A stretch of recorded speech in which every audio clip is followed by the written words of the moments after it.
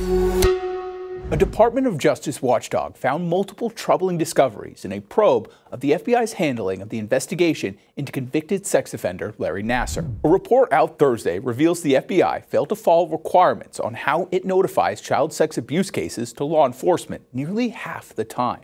The failures happening even after the agency bowed improvements following the Nassar case mishandling.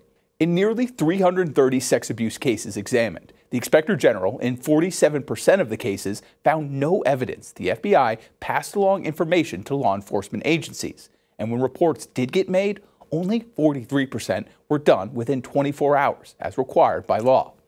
The FBI responded to the investigation saying it deeply values the trust the public puts in us to protect the most vulnerable members of society adding it's committed to making the necessary improvements to ensure the important changes we made to our violent crimes against children program in 2018 and 2019 have the intended effect of promoting the highest level of compliance and effectiveness.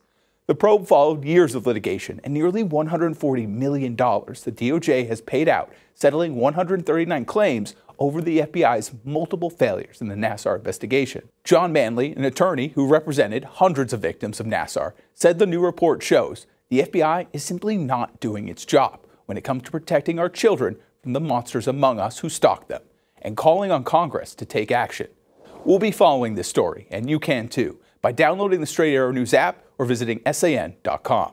For Straight Arrow News, I'm Jack Aylmer.